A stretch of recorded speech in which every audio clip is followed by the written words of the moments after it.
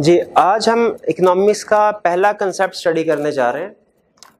तो जैसे मैंने आपके साथ डिस्कस किया था कल के लेक्चर में कि जो भी कंसेप्ट मैंने समझाना होगा, पहले मैं वाइट बोर्ड पे आके नोट कर दूँगा।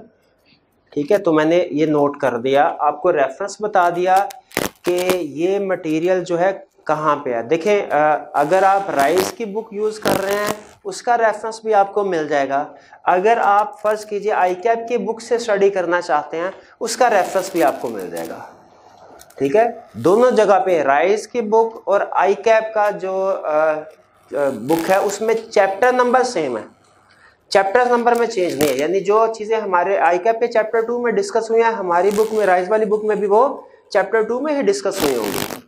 फ़र्क सिर्फ़ ये होगा कि कंसेप्ट जो है वो विद इन चैप्टर वो हो सकता है थोड़े आगे पीछे हो। या जैसे कल डिस्कस हुआ था कि वो वर्डिंग जो है, हम कोशिश करते हैं कि थोड़ा सिंप्लीफाइड वर्जन जो है वो कंसेप्ट ताकि आसानी से समझ आ जाए।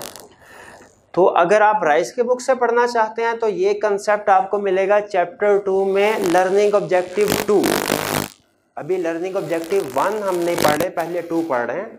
ठीक है वन भी हम स्टडी करेंगे, लेकिन दरमियान में कुछ कंसेप्ट पढ़ाने के बाद मैं लर्निंग ऑब्जेक्टिव वन की तरफ़ आऊँगा। और अगर आप आई कैप के स्टडी आई कैप के स्टडी टेक्स्ट से पढ़ना चाहते हैं तो वहाँ पे आपको ये डिफरेंट पैराग्राफ रेफरेंस दिए हुए हैं। वहाँ पे ये कंसेप्ट डिस्कस हुआ, मिल जाएगा। आप इन रेलिवेंट पैराग्राफ को पढ़ सकते हैं जाके। अदर पैराग्राफ नहीं पढ़ने, सिर्फ़ इन रेलिवेंट पैराग्राफ को। और इनको आपने रीड कैसे करना है, देखें, किसी भी पैराग्राफ का जब रेफरेंस दिया गया है तो तीन डिजिट लिखे गए हैं। जैसे ये है 2.1.2 ये 2.1.4 इसका मतलब क्या है? जो पहला डिजिट है, ये हमारा चैप्टर नंबर को शो कर रहा है। और ये जो दूसरा और तीसरा डिजिट है, ये हमारा सेक्शन और सब सेक्शन नंबर है। यानी चैप्टर टू में जाके सेक्शन वन और उसके अंदर सब सेक्शन टू या पैराग्राफ टू है। चैप्टर नंबर फिर उसके बाद सेक्शन नंबर उसके बाद पैरा नंबर ये स्टडी करने के बाद और कहा डिस्कस हुआ चैप्टर टू में सेक्शन वन पैराग्राफ फोर ये जब आप वहाँ पे जाएँगे तो चैप्टर टू के अंदर वो आपको 1.1, 1.2, 1.3 से पहले आपने अगर आई कैप का कोई स्टडी टेक्स्ट रीड किया है तो आपको अंदाज़ा होगा कि वो इसी तरह पैराग्राफ की नंबरिंग करते हैं. तो ये रेफरेंस दे दिए गए हैं. अगर आई कैप के स्टडी टेक्स्ट से पढ़ना चाहे इन जगहों पे आपको मटेरियल मिल जाएगा. अगर राइस की बुक से पढ़ना चाहते हैं तो फिर आपको लर्निंग ऑब्जेक्ट चैप्टर टू में लर्निंग ऑब्जेक्टिव टू में ये मटेरियल मिल जाएगा। तो स्टार्ट करते हैं आज इकोनॉमिक्स की डेफिनेशन से पहले। डेफिनेशन क्या है इकोनॉमिक्स की? देखिए इकोनॉमिक्स को डिफाइन किया जाता है कि इकोनॉम ये इजी डेफिनेशन आपको बता रहा हूँ। कुछ डेफिनेशन ऐसी हैं जो टेक्निकल हैं, जो इकोनॉमिस्ट ने डिफाइन किया टेक्निकल वर्ड्स में, वो भी हम नहीं पढ़े। सिर्फ़ कंसेप्ट बिल्ड करने के लिए सब्जेक्ट को समझने के लिए इजी डेफिनेशन आपके सामने रख रहा हूँ। वो कहता है economics is the study of financial decision of economics किस चीज़ का नाम है? ये चार तरह के लोगों के फाइनेंशियल डिसीज़न का नाम है। इकोनॉमिक्स में हम ये स्टडी करते हैं कि ये चार तरह के लोग फाइनेंशियल डिसीज़न कैसे करते हैं? फाइनेंशियल डिसीज़न मीन ऐसा डिसीज़न जिसमें पैसों की इन्वॉल्वमेंट है। ठीक है? ये कैसे डिसीज़न करते हैं? कोई चीज़ खरीदनी है, कोई चीज़ बेचनी है, किसके ऊपर टैक्स लगाना है, किसको इंपोर्ट करना है, किसको एक्सपोर्ट करना है, ये सारे डिसीज़न मेकिंग कैसे करते हैं? ये हमने इकोनॉमिक्स में सीखना है। और किन पार्टीज़ की डिसीज़न मेकिंग सीखनी है? चार पार्टीज़ कौन सी? Buyer seller government international traders इन चार पार्टीज़ के buyer seller government international trader buyer कौन होता है जो चीज़ों को खरीदता है? सेलर कौन है जो चीज़ों को बेचता है? गवर्नमेंट क्या है? जो किसी भी कंट्री में रूल्स एंड रेगुलेशन अप्लाई करते हैं, जो ट्रेड को इफ़ेक्ट करते हैं। और इंटरनेशनल ट्रेडर्स क्या है? ये कौन लोग है? ये इंपोर्टर एंड एक्सपोर्टर ये इंटरनेशनल इंपोर्टर एंड एक्सपोर्टर्स इन चार लोगों के डिसीजंस को स्टडी करने का नाम है इकोनॉमिक्स यानी इकोनॉमिक्स में हम डिसीज़न करते हैं स्टडी करते हैं कि जब ये लोग कोई भी फैसला जैसे बायर ने फैसला कर रहा होगा कि मैं ये चीज़ खरीदूं या ये चीज़ खरीदूं, किस बेस पे कर रहा होगा? इस चीज़ की क्वांटिटी मैंने कम खरीदनी है कि ज़्यादा खरीदनी है? किस बेस पे ये फैसले कर रहा होगा? हम ये इस सेक्शन में सीखेंगे। सेलर के बारे में सेलर ने क्या डिसीज़न करने होते हैं? सेलर को ही हम प्रोड्यूसर भी कहते हैं और फर्म भी कहते हैं। ठीक है? यहाँ पे आपने अपना अकाउंटिंग वाला कंसेप्ट अप्लाई नहीं करना। कि इंडिविजुअल का मतलब ये है एक बंदा और फर्म का मतलब ये है एक से ज़्यादा लोग जब काम कर रहे होते हैं। नहीं इकोनॉमिक्स में हम इंडिविजुअल किसको कहते हैं? बायर को। उसको कंज्यूमर भी कहते हैं। एक ही बात है। सेलर को क्या नाम दिया जाता है? प्रोड्यूसर फर्म जो चीज़ों को प्रोड्यूस करता है। इकोनॉमिक्स में अगर एक अकेला बंदा भी कोई फैक्ट्री चला रहा है तो हम उसे भी फर्म का नाम देते हैं। प्रोड्यूसर का नाम देते हैं सेलर का नाम देते हैं। तो सेलर तो ये स्टडी करना कि सेलर जो है, वो जब डिसाइड करता है कि मैंने किस चीज़ की प्रोडक्शन ज़्यादा करनी है, किसकी कम करनी है मैं जो चीज़ें प्रोड्यूस कर रहा हूँ, किसकी प्राइस बढ़ाऊं, किसकी प्राइस कम करूँ? ये स्टडी करते हैं हम इकोनॉमिक्स में। गवर्नमेंट ने क्या डिसीज़न करने होते हैं? किस प्रोडक्ट में पे मैं टैक्स लगाऊँ, किस पे सब्सिडी प्रोवाइड करूँ? ठीक है? एक्सचेंज रेट जो है फॉर एग्जांपल हमने उसको इंप्रूव करना है तो उसके लिए क्या किया जा सकता है? इंपोर्टर एक्सपोर्टर देखेंगे, हमने इंपोर्ट करनी है, किस चीज़ की करनी चाहिए? एक्सपोर्ट करनी चाहिए, वो किस चीज़ की करनी चाहिए? हमें लोकल पाकिस्तान के अंदर सेल परचेज करनी चाहिए कि पाकिस्तान के बाहर से करनी चाहिए? इन चारों पार्टीज़ के जो डिसीज़न है, इनको स्टडी करना यह है इकोनॉमिक्स का फोकस अच्छा अब यहाँ से इकोनॉमिक्स को दो हिस्सों में डिवाइड किया जाता है। जो हमारे इन चार इन चार को कहा जाता है मार्केट पार्टिसिपेंट्स इन चारों को स्टडी करना इकोनॉमिक्स लेकिन इसमें इकोनॉमिक्स को फिर इसके बाद दो हिस्सों में डिवाइड किया जाता है। जो इसमें हमारे छोटे प्लेयर हैं, उनको लैदा कर दिया जाता है और जो बड़े प्लेयर हैं, उनको लैदा कर दिया जाता है। छोटे प्लेयर बताइए कौन से हैं वाला बायर और सेलर्स इनको लैदा कर दिया जाता है। बड़े प्लेयर जो हैं गवर्नमेंट और इंटरनेशनल इनको लैदा कर दिया जाता है। छोटे प्लेयर्स के फाइनेंशियल डिसीज़न को स्टडी करने का नाम है micro economics micro micro means small macro means large तो जो हमारे बड़े पार्टिसिपेंट है, इनके फाइनेंशियल डिसीज़न को स्टडी करने का नाम क्या है? मैक्रो इकोनॉमिक्स तो अगर हमसे कोई पूछे, भाई इकोनॉमिक्स को डिफाइन करो आसान अल्फाज में, हम कहेंगे economics is the study of financial decision of buyer sellers government and international trader alternate terms use कर सकते हैं, उससे फ़र्क नहीं पड़ता। क्योंकि किसी क्वेश्चन में आई कैप कोई टर्म यूज़ करता है, किसी क्वेश्चन में कोई टर्म सारी टर्म इसलिए सामने रख दी, ताकि आप कंफ्यूजन का शिकार ना हो कि ये कोई नया प्लेयर आ गया हमारा। नहीं। अच्छा इकोनॉमिक्स की डेफिनेशन अगर कोई हमसे पूछे माइक्रो इकोनॉमिक्स की डेफिनेशन हम कहेंगे micro economics is the study of financial decision of buyer and seller अगर कोई कहे मैक्रो इकोनॉमिक्स को डिफाइन करो, हम क्या कहेंगे? Macro economics is the study of financial decision of government and international traders अब यहाँ हमने इकोनॉमिक्स के दो हिस्से कर दिए माइक्रो लदा मैक्रो लदा। नेक्स्ट हमारा डिसीज़न होता है, पढ़ने हमने दोनों है सिलेबस में हमारे दोनों है। पहले कौन सा पढ़ा जाए माइक्रो या मैक्रो ये डिसीज़न है। टीचर्स की अपनी अपनी प्रेफरेंस होती है। नॉर्मली माइक्रो इकोनॉमिक्स को पहले पढ़ाया जाता है। इसलिए कि माइक्रो इकोनॉमिक्स के कुछ कंसेप्ट ऐसे हैं जो मैक्रो में भी काम आते हैं स्पोर्ट हो जाती है, वहाँ पे सीखते हुए तो हम पहले कौन से वाला डिस्कस स्टार्ट करें? माइक्रो इकोनॉमिक्स स्टार्ट करें। ठीक है? अब मैक्रो के बारे में डिस्कशन नहीं होगी, ये जहन में रखिएगा। माइक्रो अच्छा माइक्रो इकोनॉमिक्स हमने स्टार्ट करने बताइए माइक्रो इकोनॉमिक्स में किन लोगों के डिसीजंस को स्टडी किया जाता है? बायर और सेलर अब अगेन यहाँ पे क्वेश्चन ये राइज हुआ, हमने माइक्रो इकोनॉमिक्स में बायर्स के डिसीज़न को भी स्टडी करना है। सेलर के फाइनेंशियल डिसीज़न को भी स्टडी करना है। पहले किसको स्टडी किया जाए? बायर चलिए बायर को स्टार्ट कर लेते हैं पहले। ये बायर होता कौन है? कंज्यूमर ठीक है, और सेलर कौन होता है? बेचने वाला।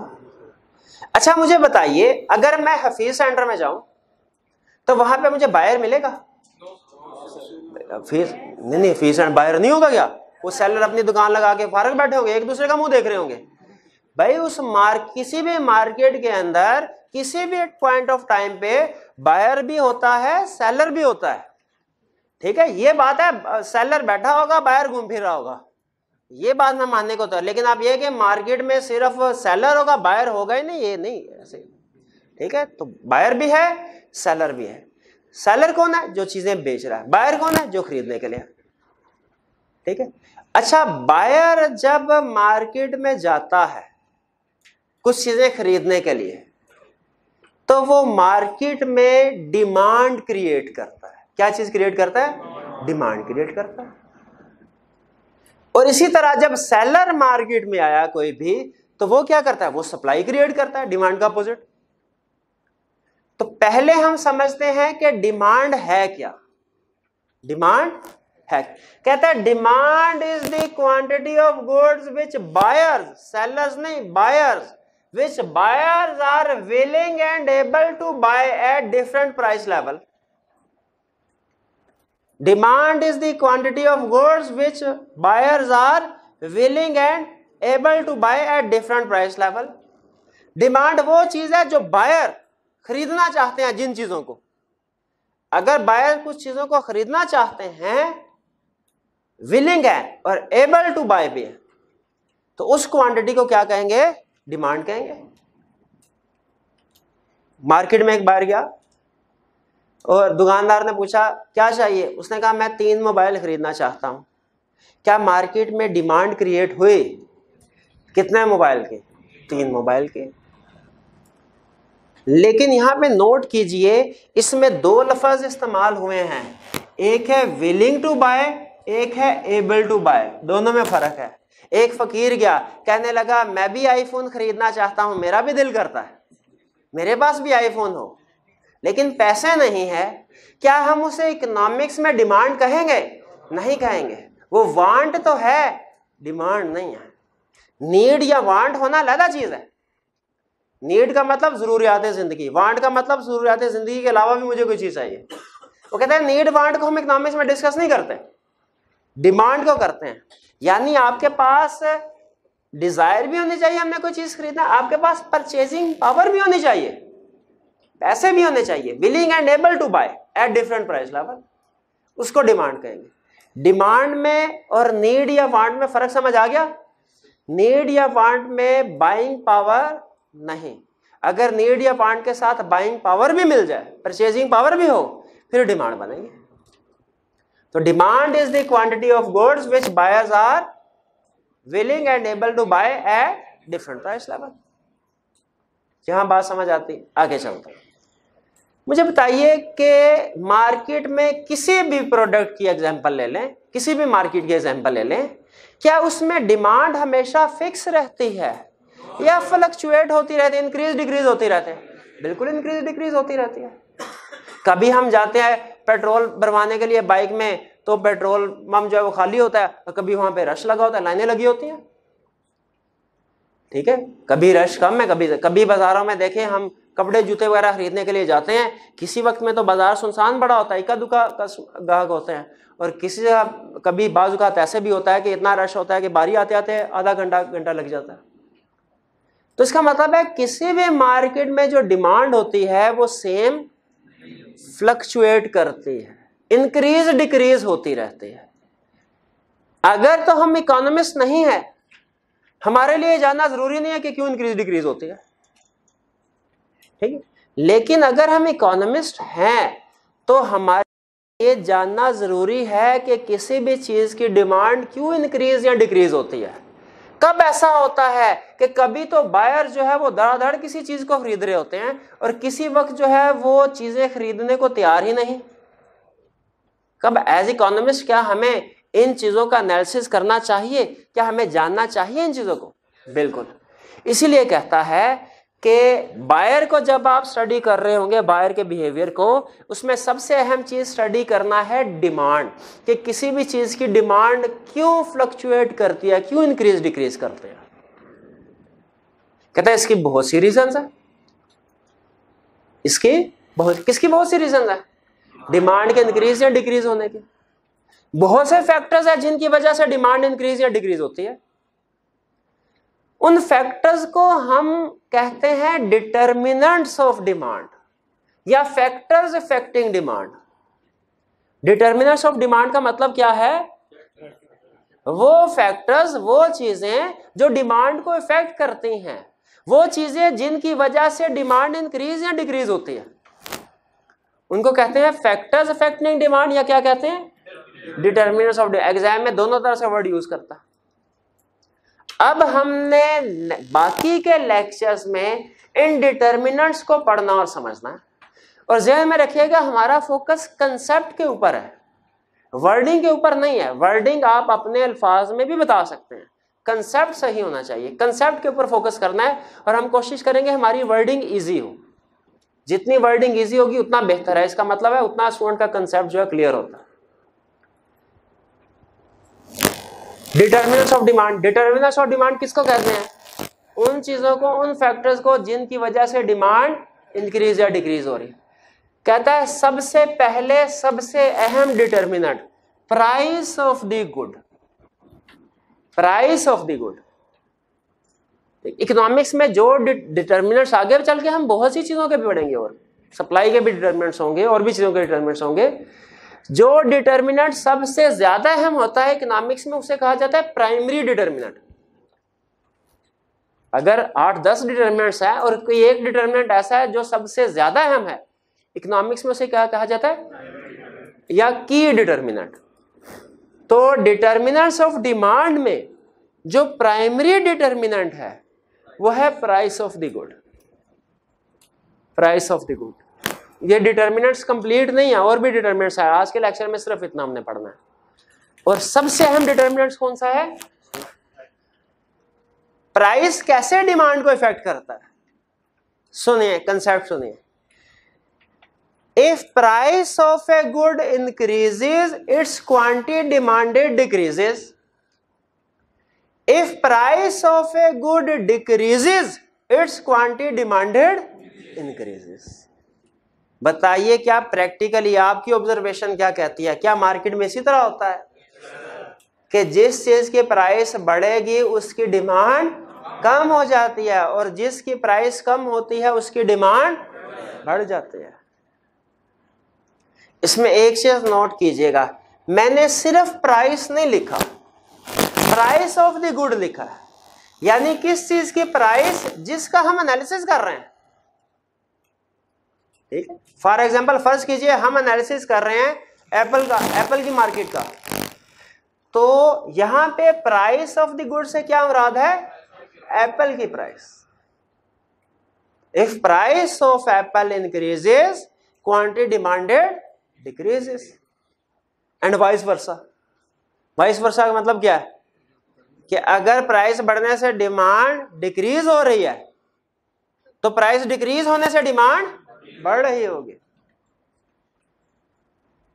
कुछ बात समझ अच्छा ऐसे प्रैक्टिकली होता है कि नहीं? कंसेप्ट को साथ साथ रियल एग्ज़ाम्पल रियल सिचुएशन के साथ मैच करके चलते जाए। ताकि एक दफ़ा समझ में आए तो फिर भूले ना कंसेप्ट प्राइस बढ़ती है तो क्वांटिटी डिमांडेड प्राइस कम होती है तो क्वांटिटी डिमांडेड यहाँ पे बहुत अहम कंसेप्ट अभी बिल्ड कर रहा हूँ। बाद में जाके यूज़ करूँगा। मैंने ये तो कहा है if price of a good increases its quantity demanded decreases ये कहा, मैंने ये नहीं कहा if quantity demanded of a good decreases its price increasing ये नहीं कहा मैंने। ये नोट कीजिएगा। मैं पहले क्वांटिटी डिमांडेड को नहीं ले आया। मैं पहले प्राइस को लेके आया हूँ। तो आपने कंसेप्ट आपने ये नहीं कहा सर बात तो एक ही है। वो जिनका मैथ थोड़ा स्ट्रांग है वो कहते हैं सर है तो इनवर्स रिलेशनशिप नहीं नहीं ऐसे नहीं चलना। ठीक है? जिस तरीके से कंसेप्ट है उसी तरीके से समझना है। कंसेप्ट क्या है सही? If price of a good increases quantity demanded decreases. और if price of a good decreases, its quantity demanded increases. Simple कोई प्रॉब्लम तो नहीं इस कंसेप्ट में? सिंपल कंसेप्ट था। चलिए, आगे चलते हैं। इनकम ऑफ़ कंज्यूमर जो किसी चीज़ कंज्यूमर कौन होता है? जो खरीदते हैं। बायर कह लें इनकम ऑफ़ बायर कह लें कंज्यूमर कह लें इंडिविजुअल कह लें। जो लोग चीज़ें खरीदते हैं, उनकी इनकम देखिए नॉर्मली क्या होता है? नॉर्मली अगर किसी कंज्यूमर की इनकम इंक्रीज होगी तो नॉर्मली जो क्वांटिटी डिमांड जो डिमांड है चीज़ों की, उस पर क्या फ़र्क पड़ेगा? वो भी इंक्रीज हो जाएगी। इनकम इंक्रीज होगी तो डिमांड भी क्यों? क्योंकि कंज्यूमर के पास ज़्यादा पैसे ज़्यादा खरीद सकते हैं चीज़ें। ठीक है? कंज्यूमर की इनकम इंक्रीज होगी डिमांड भी इंक्रीज होगी, क्योंकि वो ज़्यादा चीज़ें खरीद सकते अगर कंज्यूमर की इनकम डिक्रीज होगी तो डिमांड भी डिक्रीज हो जाएगी। मैं जब स्टूडेंट था, इतने पैसे नहीं थे तो हम कभी कभार मूवी देखने जाते थे। लेकिन जब हम अर्निंग साइड पे आ गए, अब इनकम हमारी बढ़ गई है। अब हम ज़्यादा फ्रीक्वेंटली मूवी देखने जा सकते हैं। या फॉर एग्ज़ाम्पल जाते हैं। तो इससे इनकम जब इंक्रीज होती है तो चीज़ों की डिमांड भी बढ़ जाते हैं। पहले तो हम सोच सोच के खरीदते हैं, यार ये दो शर्ट है, पूरा महीना जो है इनके साथ गुजारना है। ठीक है? तो अब तो जो है वो हम कहते हैं अच्छा ये दो शर्ट लेने घर से निकले, वहाँ पे चार पसंद आ गई कहते चलो यार चार रुपए पैकिंग कर लो। तो जब हमारी इनकम बढ़ती है तो डिमांड क्या होती है? बढ़ जाती है। और इनकम कम हो तो? यहाँ पे एक कंसेप्ट सुनिए। जब मैं स्टूडेंट था तो मैं पब्लिक ट्रांसपोर्ट पे, ये बस वैगन वगैरह पे, ज़्यादा सफ़र करता था। अब जब मैं क्वालिफाई कर लिया चार्टर्ड अकाउंटेंट बन गया, अब मैं बसों वैगनों पे सफ़र नहीं करता। बताइए, ये हमारे इस कंसेप्ट के अगेंस्ट नहीं जा रही बात? कि पहले मैं ट्रैवलिंग पब्लिक ट्रांसपोर्ट पे ज़्यादा किया करता था, लेकिन जब मेरी इनकम बढ़ी अब मैं पब्लिक ट्रांसपोर्ट पे ट्रैवलिंग नहीं करता। यहाँ पे तो केस डिफरेंट है। यहाँ पे इनकम बढ़ रही है, लेकिन डिमांड कम हो रही है। इकोनॉमिक्स इसका आंसर देती है। कहते हैं, दुनिया में एक तो होती है ना नॉर्मल चीज़ें। एक होती है इंफीरियर चीज़ें। इंफीरियर समझाने के लिए इंफीरियर की ट्रांसलेशन कर रहा हूँ। एक्चुअली इंफीरियर का मतलब ये नहीं है। लेकिन कंसेप्ट बिल्ड करने के फ़िलहाल इंफीरियर का मतलब है वो चीज़ें जो थोड़ी सी घटिया दर्जे की होती हैं। ठीक है? इंफीरियर ठीक है? अब उसी तरह देखें, जब मैं स्टूडेंट था तो मैं अक्सर लंडा बाज़ार जाके तो वहाँ पे कपड़े खरीदा करता था।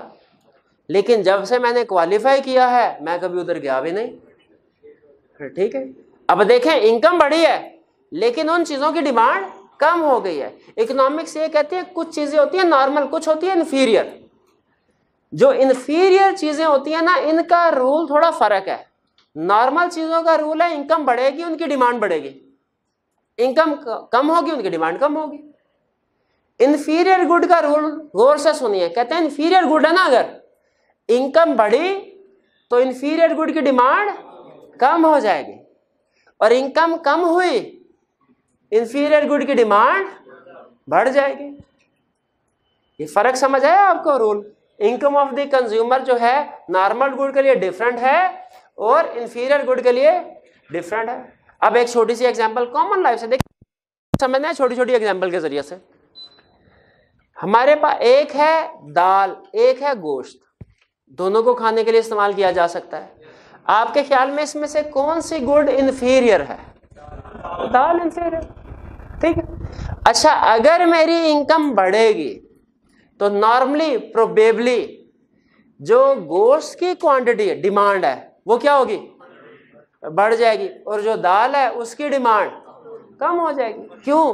कंपेरेटिवली वो इंफीरियर है। ठीक है? इसी तरह अगर मेरी इनकम कम हो जाती है तो नॉर्मल गुड मीट जो है नॉर्मल गुड इसकी डिमांड क्या होगी? और इंफीरियर गुड तो ये इनकम ऑफ़ द कंज्यूमर कैसे इफ़ेक्ट करते हैं? डिमांड को ये समझ आती है? चलिए। प्राइस बढ़ी थी डिमांड पे क्या फ़र्क पड़ा था? प्राइस कम हुई तो डिमांड बढ़ गई। इनकम बढ़ी तो डिमांड इनकम कम हुई तो? लेकिन अगर इंफीरियर गुड है इनकम बढ़ी तो? डिमांड कम इनकम कम हुई तो? ये हो गया क्लियर आगे चलते हैं। Price of complementary good price of complement इस कंसेप्ट को समझने के लिए पहले कंप्लीमेंट्री गुड को समझना पड़ेगा कि कंप्लीमेंट्री गुड्स क्या होती है। ठीक है? कंप्लीमेंट्री गुड्स क्या होती है? देखिए इकोनॉमिक्स में हम गुड्स को डिफरेंट वे में क्लासिफाई करते हैं। बहुत से तरीकों से क्लासिफाई कर सकते हैं इकोनॉमिक्स में गुड्स को। गुड्स की एक क्लासिफिकेशन है कि क्या ये गुड्स इंडिपेंडेंट है? या ये गुड्स रिलेटेड हैं? ये क्लासिफिकेशन जरा गौर से सुनिएगा। गुड्स को डिफरेंट वेज में क्लासिफाई किया जा सकता है। क्लासिफिकेशन का एक तरीका क्या है? कि ये देखना क्या ये गुड्स इंडिपेंडेंट है या रिलेटेड है। भाई इंडिपेंडेंट गुड्स कौन सी होती है? अगर किसी एक गुड की प्राइस या क्वांटिटी किसी दूसरी गुड की क्वांटिटी को इफ़ेक्ट ना करे तो इकोनॉमिक्स में इसे कहा जाता है इंडिपेंडेंट अगर किसी एक चीज़ की प्राइस या क्वांटिटी किसी दूसरी चीज़ की प्राइस या क्वांटिटी को इफ़ेक्ट ना करे डिमांड को इफ़ेक्ट ना करे तो उसे क्या कहा जाता है? इंडिपेंडेंट फॉर एग्ज़ाम्पल इस पंखा, ये पंखा है और जूते बताइए, ये दोनों इंडिपेंडेंट गुड्स हैं या रिलेटेड गुड्स हैं? इंडिपेंडेंट उस पंखे की प्राइस बढ़े या कम हो, इससे जूतों की डिमांड में कोई फ़र्क नहीं पड़ता। इसी तरह ये चेयर और आपका कैलकुलेटर इंडिपेंडेंट गुड्स हैं या रिलेटेड गुड्स हैं? एक गुड की प्राइस या क्वांटिटी दूसरी गुड को इफ़ेक्ट नहीं कर रहे। उसकी प्राइस या क्वांटिटी को इंडिपेंडेंट रिलेटेड गुड्स क्या है? कि एक गुड की प्राइस या क्वांटिटी दूसरी गुड की क्वांटिटी को इफ़ेक्ट करेगी। रिलेटेड गुड्स क्या है? एक गुड की प्राइस या क्वांटिटी दूसरी गुड की क्वांटिटी को इफ़ेक्ट करेगी। रिलेटेड गुड्स में दो फर्दर टाइप्स हैं। एक कंप्लीमेंट गुड्स कंप्लीमेंट गुड्स और दूसरा substitute good substitute good complement goods कौन सी होती हैं? पहले आसान अल्फाज में समझ लें। ऐसी गुड्स जो इकट्ठे इस्तेमाल होते हैं, उन्हें कहते हैं कंप्लीमेंट गुड्स ऐसे गुड्स जो इकट्ठे इस्तेमाल होते हैं, उन्हें क्या कहते हैं? कंप्लीमेंट गुड्स फॉर एग्ज़ाम्पल कोई एग्ज़ाम्पल दे। दे सकते हैं कैसे इसके। For example J car and petrol complement goods for example tea and sugar complement goods इकट्ठे इस्तेमाल होंगे। For example bat and ball complement good toothbrush and toothpaste complement goods कोई और अपनी तरफ़ से एग्ज़ाम्पल दे सकते हैं? से। पेन और इंक कंप्लीमेंट गुड फॉर शाबाश। सुई धागा कंप्लीमेंट गुड बिल्कुल ठीक है। ठीक है? मोबाइल चार्जर कंप्लीमेंट गुड तो कंप्लीमेंट गुड्स जो है, जो इकट्ठे इस्तेमाल होती हैं कंसेप्ट समझ आया? आगे चलते हैं। सब्सिट्यूट गुड वो गुड्स हैं, जो इकट्ठे इस्तेमाल नहीं होती। दोनों का, ऐसे गुड्स का पर्पस सेम होता है। इसीलिए अगर आप एक गुड कंज्यूम कर लेते हैं तो दूसरी की ज़रूरत नहीं पड़ती। यह है सब्सिट्यूट गुड। सब्सिट्यूट गुड की क्लासिक एग्जांपल है कोक और पेप्सी उबरेंड करें, बिल्कुल। अगर आप एक चीज़ को इस्तेमाल कर लेते हैं तो दूसरी को इस्तेमाल करने की ज़रूरत नहीं है। कार पेट्रोल कार और पेट्रोल कंप्लीमेंट गुड है या सब्सिट्यूट है? कंप्लीमेंट पेट्रोल और सीएनजी सब्सिट्यूट सुजुकी और Honda substitute tea and coffee शाबाश। ये कौन सी गुड है? Substitute good. आप एक इस्तेमाल करते हैं, दूसरे की ज़रूरत नहीं रहते। तो कंप्लीमेंट गुड और सब्सिट्यूट गुड का फ़र्क समझ आ गया आपको? अब सुनिए कंप्लीमेंट गुड का रूल कंप्लीमेंट गुड की डिमांड याद रखे, इकट्ठे मूव होती है। अगर एक चीज़ की डिमांड बढ़ती है ना तो दूसरी चीज़ की डिमांड भी बढ़ती है, क्योंकि कंप्लीमेंट गुड ने इकट्ठे कंज्यूम होना है। बाय डेफिनेशन और सब्सिट्यूट गुड की डिमांड अपोजिट मूव होती है। सब्सिट्यूट गुड अगर दो चीज़ें सब्सिट्यूट है, एक की डिमांड बढ़ेगी तो इसका मतलब है अंडरस्टूड है, दूसरे की डिमांड कम होगी। ये समझ आए कंप्लीमेंट गुड ये थोड़ा समझने वाला टॉपिक है। कंप्लीमेंट गुड्स क्या है क्लियर हुआ? सब्सिट्यूट गुड्स क्या क्लियर हो गया? अरे, एक चीज़ की डिमांड बढ़ी, दूसरी चीज़ की डिमांड भी बढ़ गई। कंप्लीमेंट है सब्सिट्यूट है। एक चीज़ की डिमांड बढ़ी, दूसरी की कम हो गई। दोनों चीज़ों की डिमांड कम हो गई। कंप्लीमेंट ठीक है? जब डिमांड सेम डायरेक्शन में मूव करे तो ये कंप्लीमेंट है। डिमांड अपोजिट डायरेक्शन में मूव करे यहाँ क्लियर हो गई बात। चलें, आधा कंसेप्ट समझ आ गया। अब सुनिए वापस आए। प्राइस ऑफ़ कंप्लीमेंट गुड वो कहता है प्राइस ऑफ़ कंप्लीमेंट गुड कैसे डिटर्मिनेंट है डिमांड का? कंप्लीमेंट कोई एक एग्जांपल दीजिए कंप्लीमेंट गुड के। कोई एक एग्जांपल दे दीजिए। जी? Car car and petrol complement good है कार एंड पेट्रोल ठीक है? मुझे ये बताइए फ़र्ज़ कीजिए, अगर कार की प्राइस डबल हो जाती है, कार की प्राइस डबल हो जाती है, कार की अपनी डिमांड तो कम हो जाएगी। ये तो है ये वाला कंसेप्ट लेकिन कार की प्राइस डबल हुई, कार की अपनी डिमांड कम हुई, बताइए पेट्रोल की डिमांड पे कोई फ़र्क पड़ेगा? क्या फ़र्क पड़ेगा? वो भी कम हो जाएगी। यानी इसका मतलब ये हुआ, इसे रूल की शक्ल में लेके आते हैं। If price of a complementary good first कीजिए हम पेट्रोल की मार्केट का एनालिसिस कर रहे हैं। कार हमारे लिए कंप्लीमेंट्री गुड है। If price of a complementary good increases demand for our main good इस पे क्या फ़र्क पड़ेगा? डिक्रीजेस अच्छा अब आपने सोचना कैसे ये जहन में रखिए। डायरेक्ट जंप नहीं लगानी। सोचना है। कंप्लीमेंट्री गुड कौन सी होती है? जो इकट्ठे मूव होते हैं अपोजिट इकट्ठे मूव एग्ज़ाम में पूछेगा price of complement good increase हुई। तो आपने कैसे सोचना है? आपने कहना है price of complementary good increase हुई तो उसकी अपनी डिमांड जो है वो डिक्रीज हो जाएगी। कंप्लीमेंट गुड में डिमांड जो है वो सेम डायरेक्शन में मूव करती है तो हमारी मेन गुड की डिमांड भी कम हो जाएगी। डायरेक्ट जंप नहीं लगानी। पहले किसी चीज़ की कंप्लीमेंट गुड की प्राइस का, उस पर इफ़ेक्ट देखना क्या होगा? फिर दूसरी गुड पे आना। ये कंसेप्ट समझ आ रहा है? तो बताइए, अगर कंप्लीमेंट्री गुड की प्राइस डिक्रीज हो जाए तो मेन गुड की डिमांड पे क्या फ़र्क पड़ेगा?